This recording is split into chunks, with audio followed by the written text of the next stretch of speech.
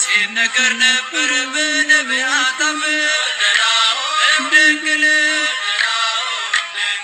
አንዱ በእግዚአብሔር በአንዱ በመንፈስ